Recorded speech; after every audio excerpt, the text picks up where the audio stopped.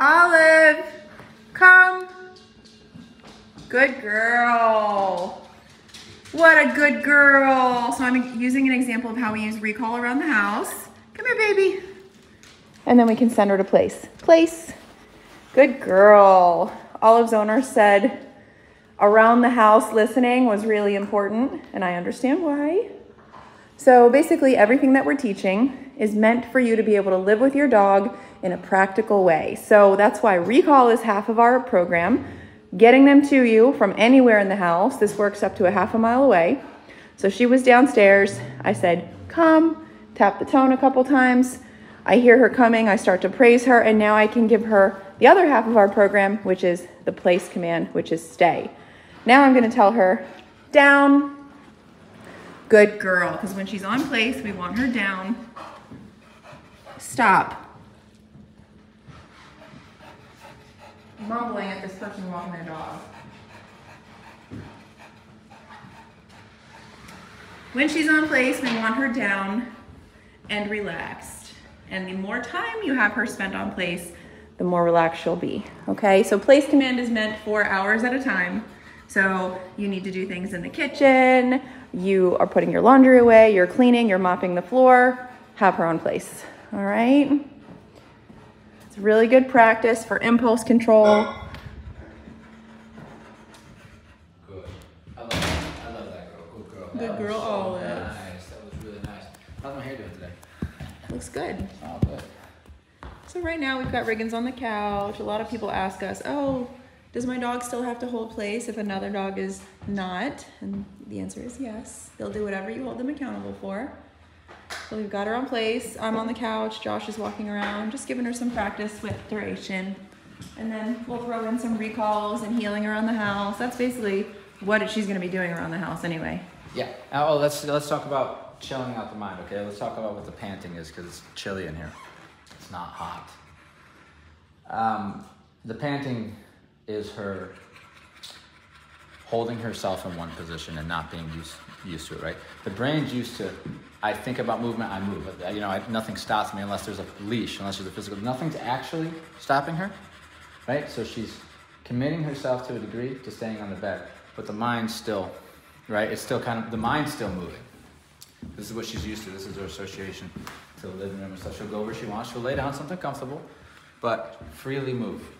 Now that that's being kind of taken away slowly, right? With all the options being taken away, we let her run down the stairs, right? When she wanted to leave and stuff, get corrected, get recalled.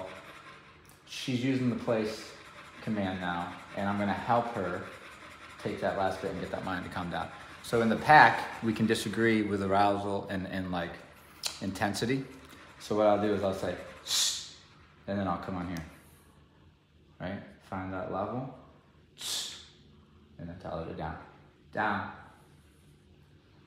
Why this is important? Good is. Gail is because it's telling her to do that. Think about relaxing. Just chill. Wait for me for a little while. Okay, good. So when she starts to pick up and you see those that mouth open really wide, it's just options in her head that she's going through. So she's starting to stress. Okay. And this is the work. Lay down. Now you'll see me start to this. by having her put her chin down, it forces her to breathe through her nose, which slows the breathing down, which slows the mind down, slows the anxiety down, Watch though. and It's lessens the anxiety. It's a very easy thing to trigger though. Us walking around. Right? Because this means if I head towards the stairs, she might be going towards the stairs. If I go to the door, she might be going. So it's her just wanting to be involved, right? So that's where you see that's where the stress is. Right? It's it's not being able to do the things that are on her mind. However, we allow her to make them she can do it, right? But she's tested it and realized that it equals a correction and put back. So therefore it's not worth it. So now she's in this position of you know, needing to commit further. She won't get off the bed easily. It would be hard for me to get her to make the mistake to get off the bed. Hi! Oh my gosh, you're so cute! Oh, baby girl. Look at the coping skill. Look at the coping skill now. She's going into her double I did not correct, Right. that's what she assumes. She's really trying. is the And struggling.